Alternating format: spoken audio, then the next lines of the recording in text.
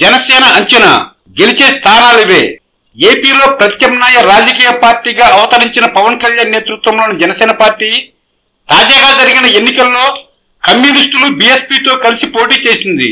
దీంతో వచ్చే ఎన్నికల ఫలితాల్లో జనసేన సృష్టించబోయే సంచలనాలపై అనేక రూపాల్లో చర్చలు జరుగుతున్నాయి. ముఖ్యంగా అధికార పార్టీ వ్యతిరేక ఓటు చీరుస్తుందని వైసీపీకి ఇబ్బందికర పరిణామాలు సృష్టిస్తుందని పెద్ద ఎత్తున విశ్లేషణలు సాగుతున్నాయి.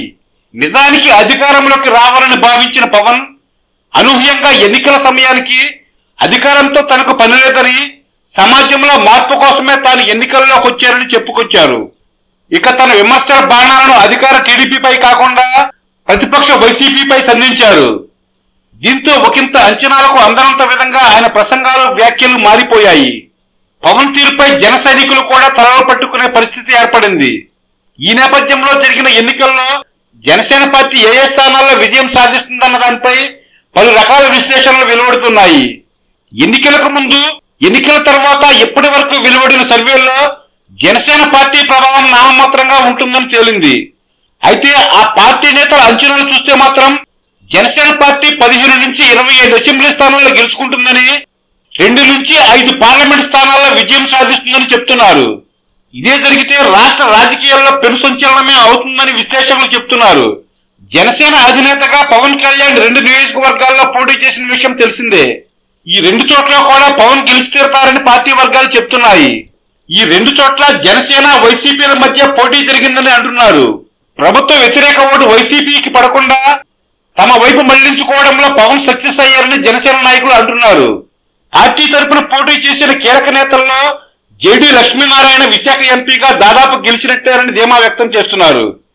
ఇక్కడ నుంచి టీడీపీ అభ్యర్థిగా ఉన్న మెతుకుమల్లి శ్రీభరత్ యువకుడు కావడం రాజకీయాలకు కొత్త కావడం బీజేపీ తరపున పోటీ చేసిన పురంధేశ్వరి గతంలో ఇక్కడి నుంచి గెలిచినా ఏమీ చేయలేదనే వాదన బలంగా ఉండడంతో ప్రధాన పోరు వైసీపీ వర్సెస్ జనసేన అన్నట్లుగానే సాగింది.